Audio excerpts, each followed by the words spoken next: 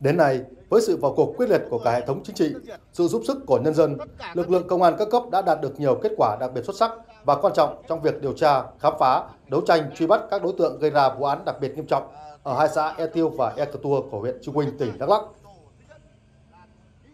Được sự giúp đỡ tích cực của nhân dân, đến 7 giờ sáng ngày 16 tháng 6 năm 2023, lực lượng công an đã bắt tạm giữ hơn 60 đối tượng, vận động đầu thú 6 đối tượng và triệu tập làm việc với một số người nghi vấn liên quan.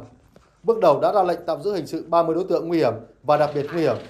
Tăng vật chứng bước đầu thu giữ gồm 4 khẩu súng quân dụng, 4 súng tự chế, 2 quả lựu đạn, 192 viên đạn các loại, 30 con dao, 9 ná cao su, 21 điện thoại di động, thẻ nhớ các loại và nhiều tài liệu chứng cứ khác chứng minh rõ ràng đây là một nhóm có tổ chức, bàn bạc, phân công cụ thể với nhiều hoạt động, hành vi đặc biệt nguy hiểm.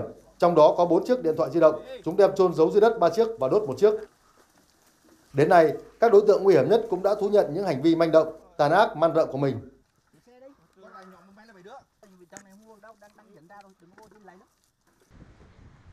Đây là lời của tên Ito Azun ở buôn Cờ Bua, xã Chipeng, huyện Cờ Đông Búc, tỉnh Đắk Lắk.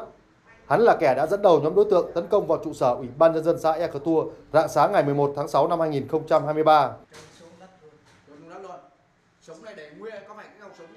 Nhóm của tôi thì xông vào ờ, xã E Tur và xong vào ờ, phòng ờ, bên ờ, công an. Xong là chúng tôi đã đập cửa và vô chém mấy người trong phòng và tôi đã nổ súng bắn công an ở đó. Xong là họ đốt bằng bom xăng nhiều phòng. Xong là tôi chạy ra ngoài tôi thấy họ đốt xe đốt nhiều thứ. Xong là tôi chạy qua cổng bên đường.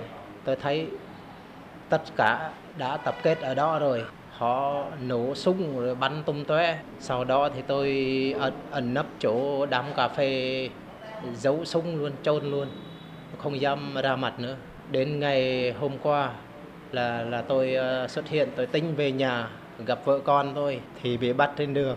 Tôi thấy quá trình tôi làm việc với công an, tôi thấy việc làm của tôi đã vi phạm rất nghiêm trọng.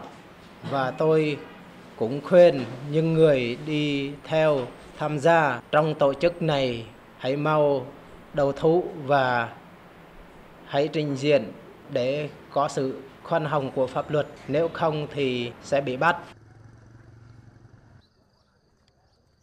Nhóm của em đi bộ xa của tour mấy anh em vào trong ai cũng cầm vũ, vũ, khí rồi cầm súng rồi cầm dao rồi cầm lựu đạn rồi cầm ờ, bình xăng.